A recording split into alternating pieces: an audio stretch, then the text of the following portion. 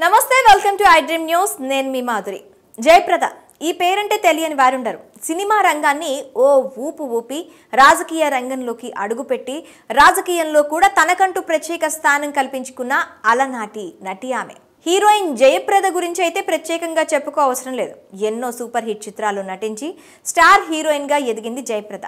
తెలుగుతో పాటు తమిళ హిందీ చిత్రాల్లో నటించి జాతీయ స్థాయిలో పాపులారిటీ సంపాదించుకుంది. అంతటి పాపులారిటీ తెచ్చుకున్న నటి ఇప్పుడు హాట్ టాపిక్గా మారింది. ప్రస్తుతం జయప్రద మిస్సింగ్ అయినట్లు వార్తలు గుప్పుమంటున్నాయి. ఆమె ఓ కేసులో నిందితురాలిగా ఉండగా పరారీలో ఉన్నట్లు సమాచారం. ఇంతటి ఫేమ్ క్రేజ్ దక్కించుకున్న ఆమె ఎందుకు పారిపోవాల్సి వచ్చింది అసలు ఆ కేస్ ఏంటి అనేది ఈ స్టోరీలో తెలుసుకుందాం. ప్రముఖ నటి రాజకీయ నాయకురాలు మాజీ ఎంపీ జయప్రద ఎన్నో సూపర్ హిట్ చిత్రాలు నటించి పాపులర్ అయ్యారు. ఎన్టీఆర్ ఏఎన్ఆర్ కృష్ణ వంటి స్టార్ హీరోల సరసన నటించి ప్రేక్షకుల కలల రాణిగా ఆమె ఎదిగారు. అప్పట్లో ఆమెను వెండితెరపై చూసేందుకు థియేటర్లకు క్యూ కట్టేవారు అభిమానులు. ఇక సినిమాలకు బ్రేక్ ఇచ్చిన ఈ అందాల భామ రాజకీయాల్లోకి ఎంట్రీ ఇచ్చింది. నిజానికి జయప్రద మన తెలుగు ప్రాంతానికి చెందిన వ్యక్తే. అయినప్పటికీ యూపీలో సమాజ్వాదీ పార్టీ తరపున పోటీ చేసింది.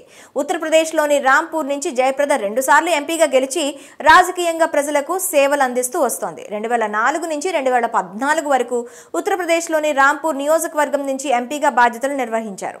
ఇక జయప్రద రెండు వేల పంతొమ్మిది సార్వత్రిక ఎన్నికలకి ముందు సమాజ్వాదీ పార్టీ నుంచి బీజేపీలో చేరి రాంపూర్ నియోజకవర్గం నుంచి పోటీ చేసి ఓటమి పాలైంది.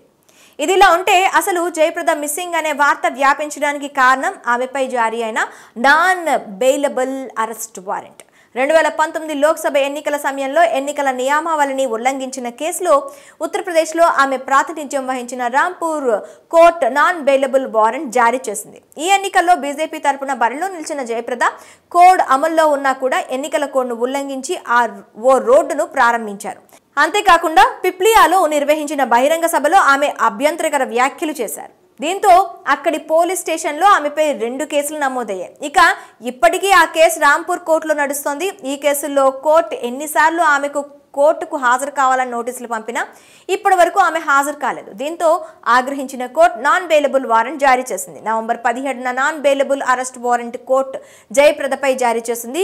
ఇన్ని రోజులు కోర్టు సమయం వృధా చేయడంతో ఆగ్రహించిన కోర్టు జనవరి పదో తేదీలోగా జయప్రదను కోర్టులో హాజరుపరచాలని రాంపూర్ పోలీసులను కోర్టు ఆదేశించింది.